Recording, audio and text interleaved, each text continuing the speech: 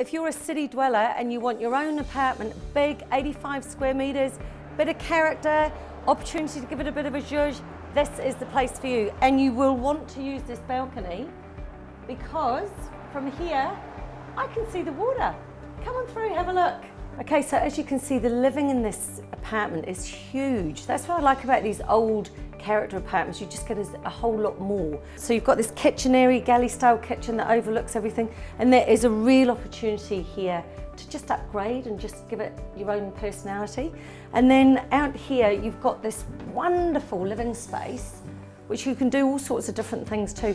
And you've got big double bedrooms either side of this.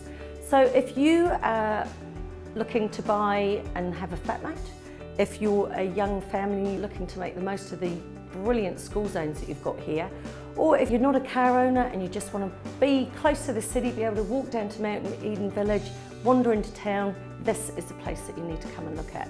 So come and have a look at 5 bar 340 Mount Eden Road.